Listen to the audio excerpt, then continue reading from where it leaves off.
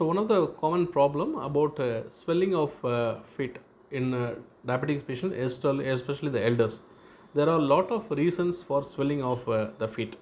So very common reason I will just explain to you. So one is one thing called physiological and other thing called pathological. So physiological in the sense if especially uh, people sitting for a long time without any physical activity so that can also lead to swelling because the fluid is not pumped to the uh, upper body. So when you are sitting lying uh, sitting for a lot of time without any physical activity like 3 hours 4 hours you are sitting and then you are doing no work definitely it can cause swelling.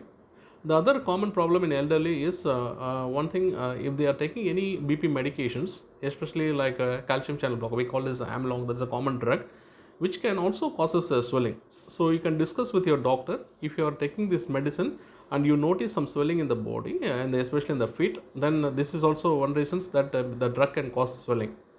Uh, the other problems which can cause uh, leg swelling you should know is some of the problems like organ functions which cause uh, uh, damage that can also causes just to, know the things i'm just uh, i explain to you. You don't get uh, uh, fear about what i'm telling so one of the reason very common reason is uh, the kidney issues. Often you know. So everybody says that uh, leg swelling is uh, causes for the uh, kidney problem. So yes it's true. If the kidney function is not working properly so that can also causes uh, leg swelling especially it will be in the uh, two sides. If you notice any swelling only in one side like in ankle swelling there is some reasons that uric acid can go high that we call it as a gout. So this is also one reason.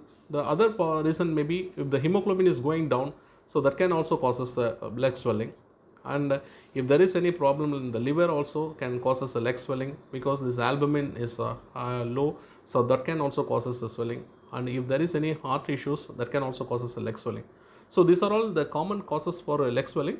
It is not uh, just fit to everyone. So it may be the reasons for uh, people who are having leg swellings. We have to uh, diagnose and you have to discuss with a doctor. They will identify what is the real cause for the leg swelling